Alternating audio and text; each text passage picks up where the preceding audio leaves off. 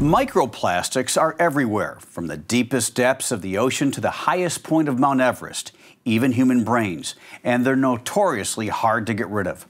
But scientists in China might have come up with a solution. They've created a biodegradable sponge made of cotton and squid bones. They say research has shown this particular material can almost completely remove tiny plastic particles from water sources. The sponge uses the chitin from squid bones and cellulose from cotton, which are both organic compounds known for eliminating pollution from wastewater. Researchers tested the sponge on four different types of water irrigation water, pond water, lake water, and seawater, and found it removed up to 99.9% of microplastics in the samples.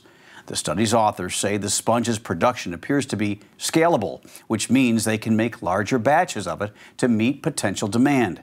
Previous similar microplastic filtration systems were found to be successful but could not be scaled up. If the new sponge works successfully on a large scale, which is the next step in testing, it could be a world changing discovery. Stay up to date on all the latest environmental breakthroughs by downloading the Straight Arrow News app. Música